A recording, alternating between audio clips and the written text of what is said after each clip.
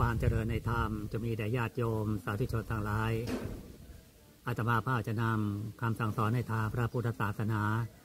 มาเผยแผ่ให้ญาติโยม สาธุชนทั้งหลาย ได้รับรู้รับฟัง ธรรมะที่อาตมาภาพจะนำมาเผยแผ่ ชื่อว่า เหตุเสื่อมแห่ง ราคะ โทสะ โมหะ ในเหตุแห่งความเสื่อม ของราคะ ก็คือ อสุภานิมิต อารมณ์ที่ไม่สวยไม่งาม ถ้าไปเห็นอารมณ์ที่ไม่สวยไม่งาม เช่น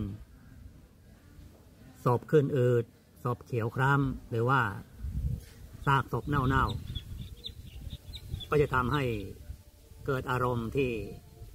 ไม่สวยไม่งามเกิดขึ้นในใจ ก็จะทำให้ราคะ หรือว่ากิเลสที่อยู่ในใจเรานั้นสงบลงชั่วขณะที่ได้เห็นซากศพ หรือเห็นของที่ไม่สวยไม่งาม ก็จะทำให้เสื่อม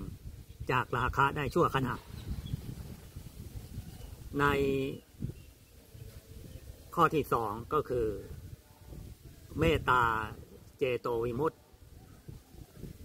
ความหลุดพ้นแห่งใจที่เสื่อมจากปฏิฆะคือเมตตา ปฏิฆะคืออารมณ์ที่ชอบใจ หรือว่าไม่ชอบใจ เมื่อมีปฏิฆะเกิดขึ้น ก็สามารถที่จะทำลาย หรือว่าระงับยับยั้งโทสะได้ ด้วยเมตตาฉะนั้นการแผ่เมตตาก็คือ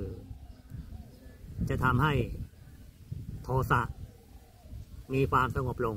ได้ชั่วขณะ ในข้อที่สามโยนิโสมนติการ การทำไว้ในใจโดยแยบคายก็คือ ไม่ว่าจะทำอะไรก็แล้วแต่ ต้องใช้ปัญญา จึงจะทำให้ความเสื่อมของโมหะนั้นสงบลงได้ โมหะคือความหลง แต่ถ้ามีปัญญาเกิดขึ้น เราใช้ปัญญาพินิจพิจารณา ถึงสิ่งที่ทำคำที่พูด ใจที่คิด โดยทำไว้ในใจโดยแยบคาย โดยใช้ปัญญาพินิจพิจารณาแล้วเนี่ยก็จะทำให้โมหะคือความหลงสงบได้ชั่วขณะทำทั้งสามอย่าง เป็นเหตุเป็นปัจจัยทำให้ราคะ